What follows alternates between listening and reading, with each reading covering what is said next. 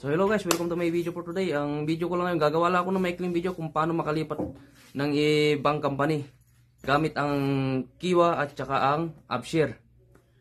So sa akin kasi second transfer ko na. So sa akin hindi ko naman may paliwanag 100%. Kumbaga ito lang, isi-share ko lang sa inyo based in my experience kasi na-experience ko naman talaga transfer eh. Naranasan ko na matransfer, uh, na-expired ang ikama ko at hindi expired ang ikama ko. Sa una kong company na unang transfer ko, naabutan ako ng expiration ng ikama. Pero yun talagang pinakamabilis ng transfer kasi once na naabutan ka ng expired ng ikama, pag sinendang ka ng bagong employer ng Kiwa at inaccept mo yun, hindi na kailangan ng approval ng yung company. Yeah, kasi once na na-approve yun at hindi na na-accept mo na, ngayon ang gagawin naman ng nilipatan mo, papasukin yung upshare mo. Papapalitan yung sponsor mo doon. Ngayon, ang ang after nun, pag napalitan yung sponsor mo doon, yun na lang. Uh, ikama ID na lang yung susunod, yung i-process nila. Yung ikama ID mo. Tapos i-renew nila, i-renew nila yun. Ipaprocess nila. Tsaka yung working, working permit. Uh, tapos yung sa... Kasi mas mabilis talagang mag-transfer pag ispara ang ikama eh. Pero hindi kagaya dito sa una kong company. Uh, ang kagandahan lang nung bago ako lumip, uh, bago dito sa dati kong company, nung lumipat ako, alam ko na yung medyo may knowledge na ako kung paano mag-transfer. Kaya ang ginawa ko, 2 months before, kinausap ko na sila. Kasi kung hindi kasi expired yung ikama mo, alam mo kung ano mangyari. Pag in-accept mo yung kiwa, kailangan pa ng acceptance ng employer mo. Yun lang ang mahirap pag hindi expired ang ikama, kaya kausapin mo sila ng maayos. 2 months before, nagpaalam ako.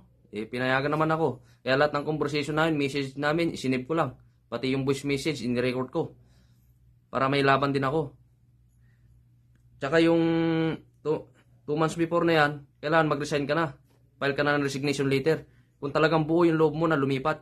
Kasi kailangan kasi yan, pag lumipat ka, kailangan buo yung loob mo, pinaghahandaan mo, alam mo yung gagawin mo. At saka unang-una, mag-ipon ka na ng budget mo kasi mahal din ng pamasahe. Pag nag-apply ka ng trabaho, iikutin mo itong area dito kung saan saan ka makakarating mag-apply. Hanggang sa makahanap ka ng bagong employer na magkakapil sa'yo. Yun lang yung pinaka, yun lang yung apat na yun ng baon ko na ano na yun. Ah, buong loob ko, uh, isang desisyonan lang, buong loob, yung kumbaga isang desisyonan lang, at saka alam ko yung gagawin ko.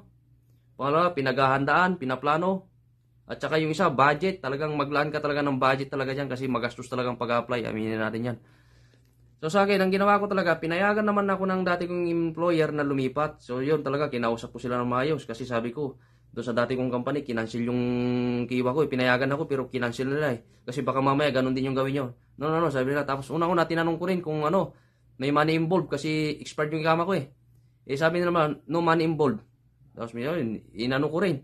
Kaya yung ginawa ko noon, yung mga inaplayan ko, binigay ko lang yung number ng operation manager ko. Ang sagot naman ng operation manager ko, no money involved, no problem if transfer because finish my contract.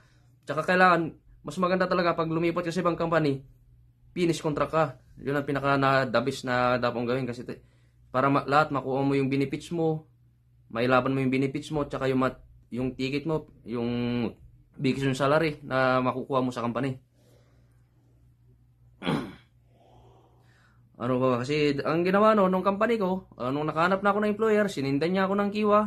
Nakipag-usap ako ng maayos sa dati kong company, na i-accept yung kiwa. O ngayon, mga siguro mga isang araw lang pagitan or 2 days, inaccept yung kiwa. Tapos yung bagong employer ko, kinausap ko na, uh, ayusin na yung sponsor ko. Sa Upshare, yun, inayos na. Mga ilang araw lang naayos na. 1 or 2 days yata naayos na niya eh. Pero mas mabilis talaga i-process yung expired ang ikama kaysa yung sa hindi expired yung ikama. Kasi sa akin, na-transfer ako di, ngayon na ano, hindi expired ang ikama ko eh.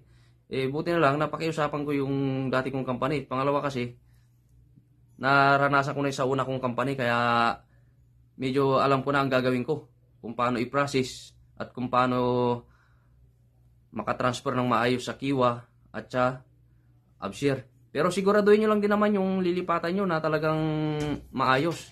Yun ang pinaka-importante sa lahat. Uh, siguraduhin natin na hindi tayo mapapahamak. So hanggang dyan lang aking video for today guys. Maraming salamat guys.